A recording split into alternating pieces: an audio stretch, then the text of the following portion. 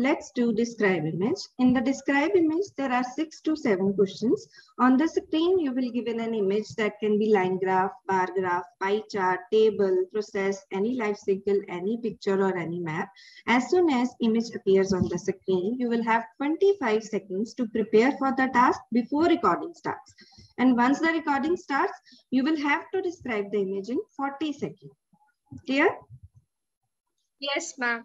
बहुत easy task है। Screen पे एक इमेज आएगी आपने उसको ऑब्ज़र्व करके बस 40 सेकंड के लिए उसको एक्सप्लेन करना है। और कैसे एक्सप्लेन करना है? You have to describe the image into three parts introduction body and conclusion in introduction you will add topic of the image given on the X axis whatever given on the Y axis and in the body paragraph you will explain the image in detail clear Yes, ma'am. And in the last we will conclude the image. Clear? Yes, ma'am. Next, marking criteria. Three criteria are checked here. Five marks for each, fluency five marks, pronunciation five marks, content five marks. To get full point in fluency, make sure that you speak in a flow. And your flow should be uninterrupted. There should be no hesitation, no repetition, and no irrelevant pauses. Pauses होने चाहिए full stop और commas पे pauses होने चाहिए proper pauses होने चाहिए irrelevant जगह पे नहीं होनी चाहिए। Clear yes ma'am next is pronunciation pronunciation means clarity of your speech and it should be clearly understandable by the most regular speakers of the english. And your pronunciation of words should be accurate. ठीक है? सही से words pronounce करने हैं। और clarity के साथ करने हैं तभी आपको प्रोनाउंसिएशन में अच्छे मार्क्स मिलेंगे is it clear yes ma'am next is content it depends how well you explain that image कितने अच्छे से आपने उस इमेज को एक्सप्लेन किया है? जैसे मैंने पहले बताया थ्री पार्ट्स में डिवाइड करके इंट्रोडक्शन में टॉपिक देना है देन एक्स वाई एक्सिस को एक्सप्लेन करना है देन में डिटेल बतानी है उसके मोस्ट स्ट्राइकिंग फीचर्स एक्सप्लेन करने हैं लास्ट में कंक्लूजन करना है।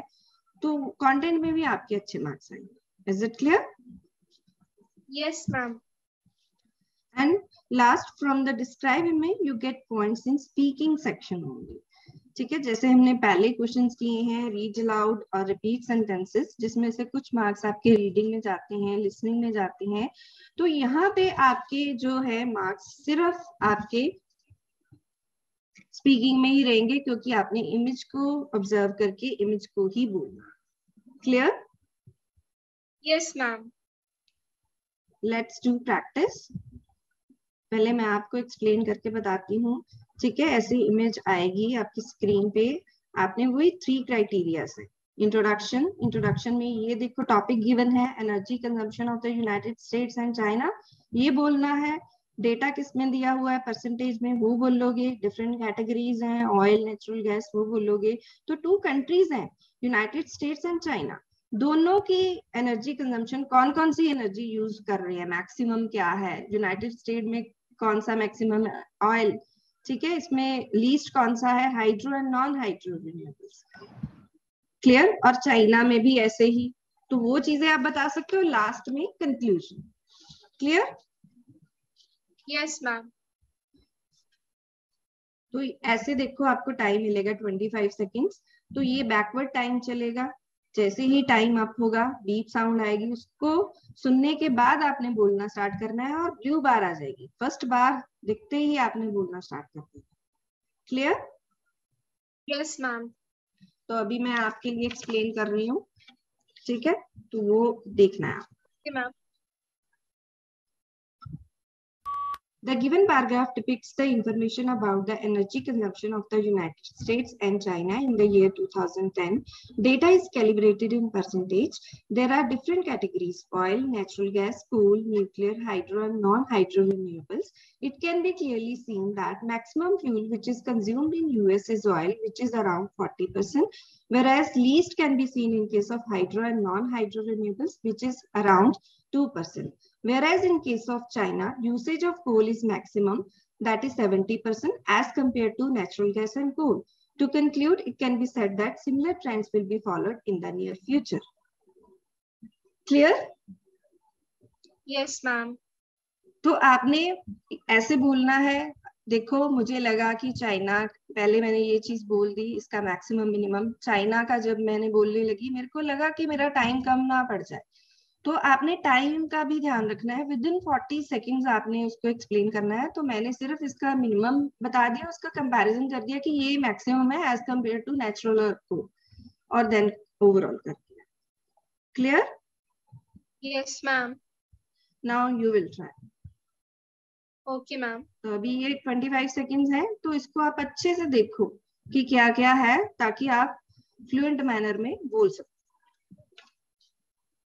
Okay, ma'am.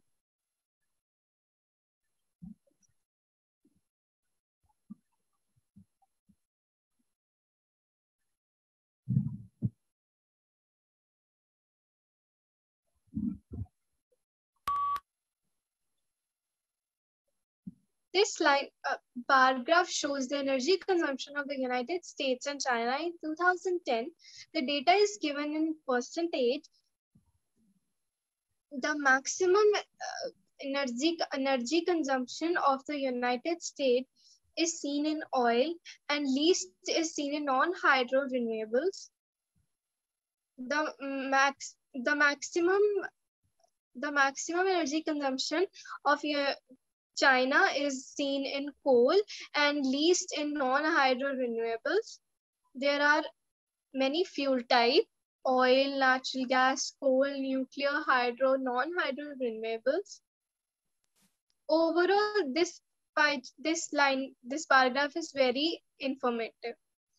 हम्म, देखो एक्सप्लेन तो किया आपने लेकिन सबसे इम्पोर्टेंट बात टाइम अप हो गया मैंने पहले भी बताया था विद इन फोर्टी सेकेंड आपने एक्सप्लेन करना है अगर आपको लगा कि टाइम अप हो रहा है टाइम की तरफ़ ध्यान देना है आपको ठीक है? तो आप उससे पहले उसको कंक्लूड कर सकते हो। ठीक है कि सारे के सारे फीचर्स नहीं बताने। पहले आपने मैक्सिमम मिनिमम बता रहे थे, फिर डिफरेंट टाइप्स ऑफ़ फ्यूल्स बताने लगे। अगर वो नहीं बताया आपने पहले तो कोई बात नहीं। ठीक है? फिर टाइम की तरफ़ ध्यान देना है। दूसरा, पहले बार लाइन पहले लाइन बोला, फिर पैराग्राफ बोला। तो वो रिपीट नहीं करना। पहले तो पहले ही ध्यान से देखो कि ये क्या है, किस बारे में इमेज है बार ग्राफ है या लाइन ग्राफ है या पाई चार्ट है। अगर बाई चांस गलती से आपको बोला भी गया है तो आपने ये चीज़ रिपीट नहीं करनी, कोई बात नहीं, फिर फ्लुएंसी ना अफेक्ट करो। अभी आप फ्लुएंट मैनर में नहीं बोल पा रहे हो, बीच में रुक रहे हो कंफ्यूज हो रहे हो, क्या हो गया था? कंफ्यूज हो गई थी। तो कंफ्यूज बिल्कुल नहीं होना जो दिख रहा है बस वो हमने बोलना। टू कंट्रीज़ है ठीक है? दोनों का मैक्सिमम मिनिमम बता देना है बस। ठीक है? तो घबराना नहीं है कुछ नहीं है कंप्यूटर के सामने आपने बोलना है। कोई आपको ऑब्ज़र्व करने वाला नहीं होगा एग्ज़ाम ठीक है? ये स्टार्टिंग है कोई बात नहीं अभी आप प्रैक्टिस करोगे तो ये चीज़ें इम्प्रूव हो जाएँगी। एक्सप्लेन ठीक कर रहे हो लेकिन फ्लुएंट मैनर में नहीं कर पा रहे हो। ठीक है? सोच सोच के नहीं बोलना। पहले से प्रिपेयर करके रखना है। आपने इस चीज़ की प्रैक्टिस ही इतनी करनी है। हम करवाएँगे आपको। ऐसे रोज वन टू वन कोई ना कोई इमेज लेके हम प्रैक्टिस करेंगे जिससे आपकी इंप्रूवमेंट होगी क्लियर यस मैम तो फ्लुएंट मैनर में बोलना है प्रोनाउंसिएशन का खास ध्यान रखना है रिपीट नहीं करना अगर गलत बोला गया है तो फ्लुएंसी इफ़ेक्ट होगी। प्रोनाउंसिएशन तो हो गई अगर गलत बोल दिया। लेकिन अगर आपने उसको रिपीट कर दिया तो फ्लुएंसी भी इफ़ेक्ट हो जाएगी।